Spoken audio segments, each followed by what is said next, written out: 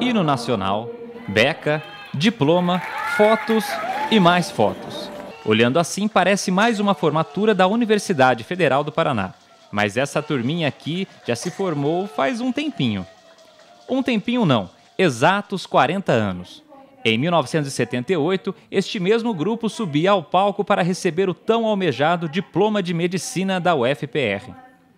Hoje, agora como experientes profissionais, eles voltam ao auditório da universidade para receberem uma homenagem do reitor Marcelo Ricardo Fonseca, da vice-reitora Graciela Bolzon e do vice-diretor do setor de Ciências da Saúde, Edson Luiz Tisotti.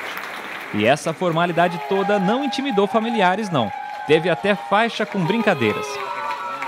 Eu não imaginava. Isso aí foi uma surpresa grande. Eles, essa ligação grande, eles fazem esse tipo de brincadeira. É muito bom ouvir isso. Nós combinamos em casa com os filhos que a gente ia trazer uma, uma faixa e ele fala para os filhos, não fez mais que a obrigação. Então nós fizemos o mesmo para ele hoje, para ele sentir um pouquinho.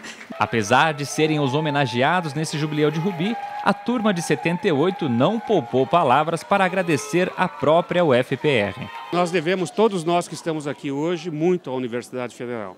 Primeiro pela gratuidade do curso, segundo pelos ensinamentos que proporcionaram e que puderam nos tornar os profissionais que hoje nós somos, né?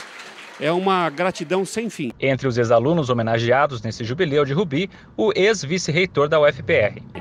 Foram as comissões presididas pelo professor Molinari que implantaram a celebração do jubileu.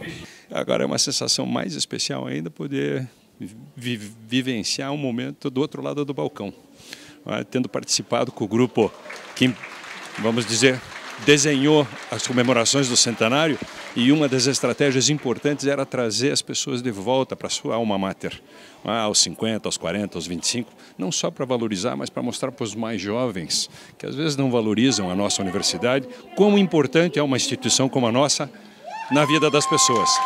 E olhando esse auditório cheio, com representantes de diversas gerações da família dos homenageados, fica uma certeza a universidade, quando toca a vida das pessoas, transforma, seja na sociedade ou no indivíduo.